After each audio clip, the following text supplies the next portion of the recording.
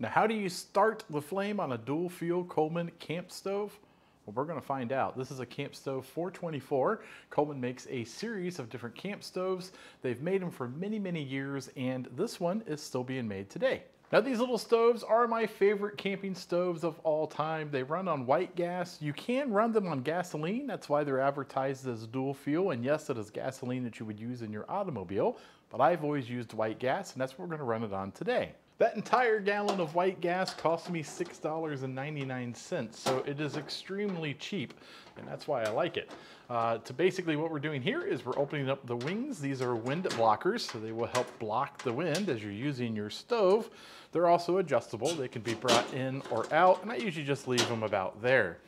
Inside, you're gonna see a gas tank, and this is the gas tank here.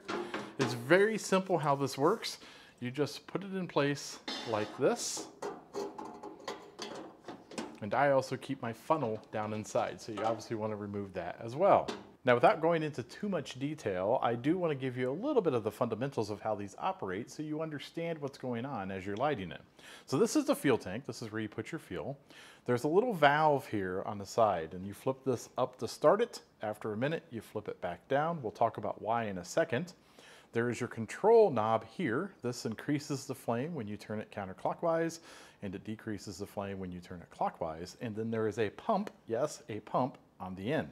Now this pump also has an incorporated valve and to use this pump you need to open that valve up. To open the valve you rotate this knob counterclockwise, one full turn and now you're ready to pump the gas tank up. To do that you pull back on the plunger, put your thumb over the hole and you shove the plunger down. You're to take your thumb off the hole again, pull back on the plunger, and shove it down. You're going to do this about 30 times, and then rotate that valve clockwise so you shut the valve off. You want to make sure this little valve is in the up position when you're initially starting. Now what this does is it pulls the vapor off the top of the gas tank and feeds your burner. Once you get this tube hot, you want to put this lever down and what that does is the heat will vaporize any fuel in this tube and then you can continue on cooking. So it's very important to turn this knob up get it started, and then after about a minute, turn the valve back down, and then you continue using this as you need it. So let's go ahead and start it. I recommend opening this knob right around two times or a time and a half. So there's one, there's two. We're gonna go ahead and light it. And you can see what it's gonna do is heat up this tube right here.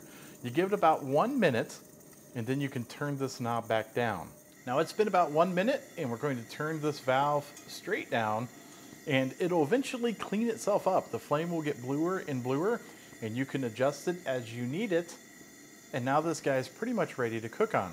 This particular model has a second burner and it has a valve off to the side the way that works is the same thing. You turn this counterclockwise to open it up, light it, and now you have two burners that you can cook on.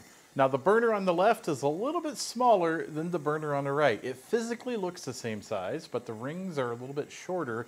It doesn't burn as hot. So typically I use this one as a warmer and I use this one to get the cooking done. Filling the tank is pretty easy. They've made it so that when you put it on its side, it stays in this upright position. You can use a funnel and fill it with white gas.